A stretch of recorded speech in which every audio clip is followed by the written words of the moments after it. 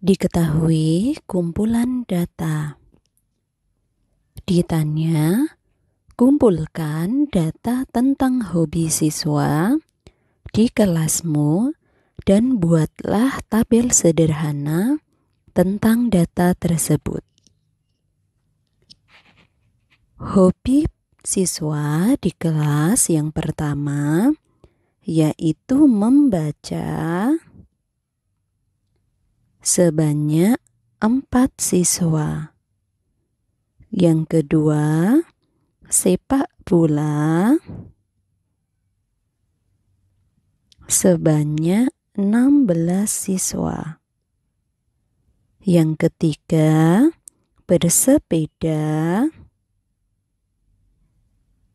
sebanyak 8 siswa. Yang keempat, tenis meja sebanyak dua siswa. Dan yang kelima, badminton sebanyak sepuluh siswa. Dari data tersebut, kita bisa menyajikan dalam tabel.